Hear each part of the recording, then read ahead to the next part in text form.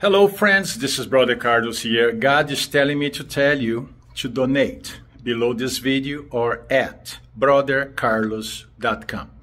Brothercarlos.com. Now, when you are about to make the donation, then there's a memo there. So you need to write down on that space, okay, what miracle you want God to do for you. Just one. Not two, not three, not four, not five. Only one. He wants you to write down in the memo, this donation is for this miracle that I need. Then you relate, then you write down the miracle. Okay? Amen. Now make sure you are honoring God with the donation, You're not me. You are honoring God with the donation. Okay, then sow the best you can. Okay?